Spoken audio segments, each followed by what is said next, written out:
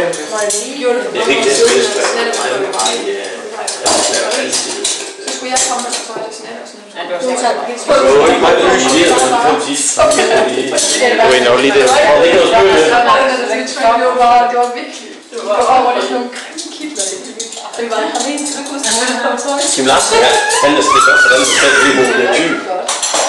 Det er Kim Larsen, og det er ikke lige lavet hurtigt nok sammen. Det er det, det Max Løn, har du ikke fået lidt mere til dine børn? Hvordan det går med lige omkring?